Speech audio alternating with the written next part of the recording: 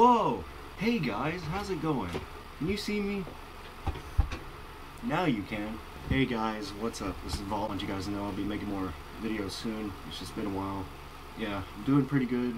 Pretty sure you guys were just wondering how I was doing, so I decided to make a video to tell you guys I'm alright. I haven't been doing much lately just because I haven't had any ideas. As you guys can see, got a new chair.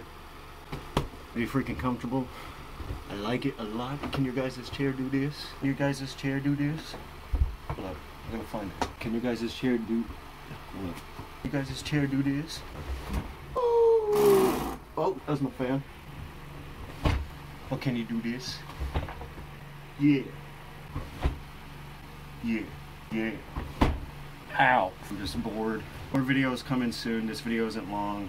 Yeah, I've just been vibing, just been chilling, smoking. It's got this top puff yesterday. You can turn any water bottle or two liter pop bottle into a bong if you want. I'm not gonna smoke out of this because you know YouTube's rules on it. But just for medicine, man.